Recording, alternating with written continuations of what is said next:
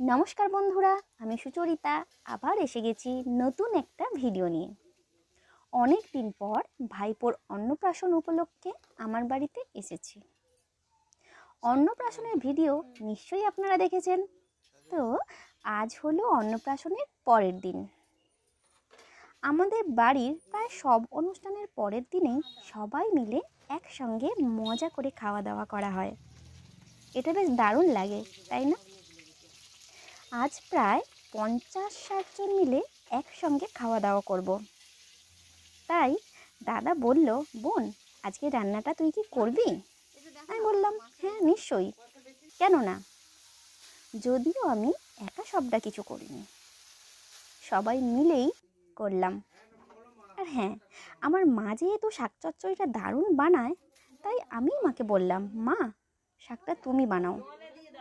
আমি বরং মটনটা করে নিচ্ছি। তাছাড়াও আগের দিনের কিছু রান্না ফ্রিজে রাখা আছে। সব গরম করে নেব। আজ রান্নার ভিডিওটা সেও দেখানো হলো না। কারণ ভিডিওটা বেশি বড় করলাম না।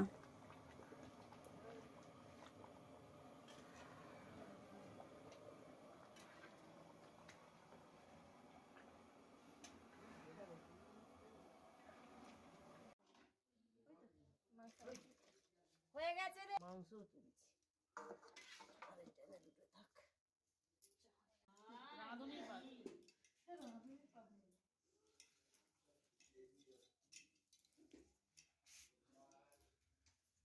সবার খাওয়া দাওয়া মোটামুটি হয়ে গেছে। সেই ভিডিও আপনাদের সঙ্গে আর শেয়ার করলাম না। শুধু আমাদের খাওয়ার ভিডিওটাই শেয়ার করলাম। এইবার আমরা চার বোন মা কাকিমা পিসি সবাই মিলে খেতে বসলাম।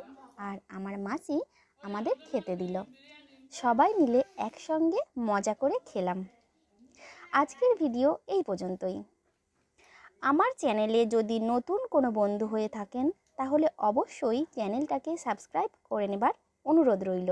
আর পাশে থাকা বেল আইকনটা প্রেস করে নেবেন। তাহলে আমি যখনই কোনো ভিডিও আপলোড করব, সবার আগে আপনার কাছে পৌঁছে যাবে। আবার আসব নতুন কোনো ভিডিও নিয়ে।